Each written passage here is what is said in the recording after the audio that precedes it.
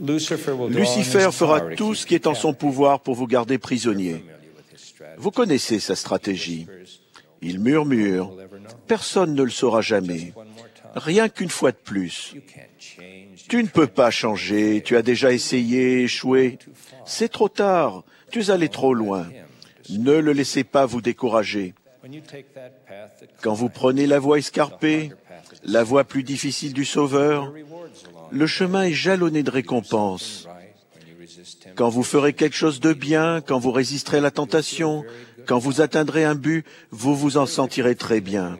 C'est un sentiment très différent de ce que vous ressentez quand vous violez les commandements. Un sentiment tout à fait différent.